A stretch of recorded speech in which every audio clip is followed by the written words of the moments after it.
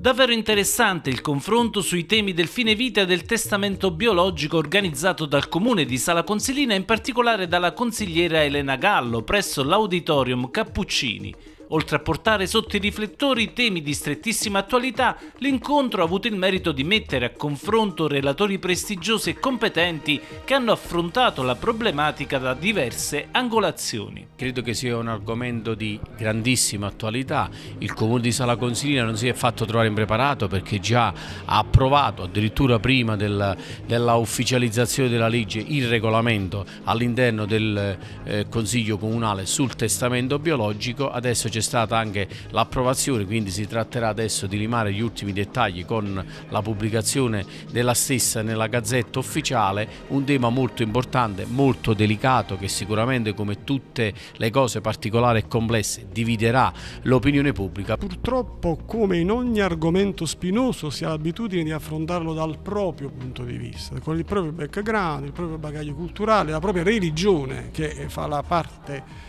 eh, importante in questo discorso. Eh, diventare lucidi, appunto asettici, non è una cosa, una cosa facile, ma il tutto lo si può capire quando il problema lo si vede, quando si conosce queste storie, questi pazienti, quando si tocca con mano che problematiche eh, vedono e poi tutto è affidato a delle discipline importanti che gestiscono questa materia come la terapia del dolore e le cure palliative sono due discipline fondamentali in cui serve una preparazione, una formazione importante per avere un margine di azione concreto. In particolare è molto duro l'attacco di Monsignor De Luca alle forze parlamentari ormai giunte a fine mandato. E noi non condividiamo che all'interno di questa legge eh, due dimensioni fondamentali, l'idratazione, l'alimentazione meccanica, cioè mangiare e bere eh, del malato, vengono considerate due eh, dimensioni di una terapia straordinaria. E questo noi crediamo che invece sia una,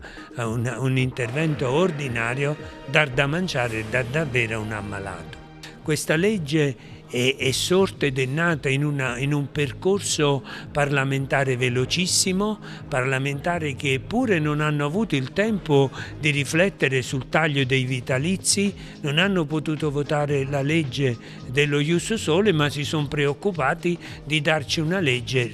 adesso il Parlamento come al solito è sovrano, ci hanno dato una legge dello Stato che era necessario averla, ma eh, ci sorprende tutta questa preoccupazione. Completamente diverso il punto di vista dell'avvocato Francesco Di Paolo, in questi giorni impegnato nella difesa di Marco Cappato, l'esponente dei radicali e tesoriere dell'associazione Luca Coscioni, sotto processo a Milano per aver favorito il suicidio di DJ Fabo. È un processo che diciamo, si è sostanzialmente creato nel tempo. E viverlo personalmente da un punto di vista professionale è assolutamente gratificante, però per me è importante esserci soprattutto in quanto componente di giunta dell'Associazione Coscioni. Vuol dire che l'Associazione Coscioni è riuscita a portare avanti un tema che finalmente poi ha visto ieri eh, un primo passo, perché quello è solo un primo passo, la legge sul cosiddetto testamento biologico che però deve vedere l'inizio di battaglie per altri temi ben più importanti.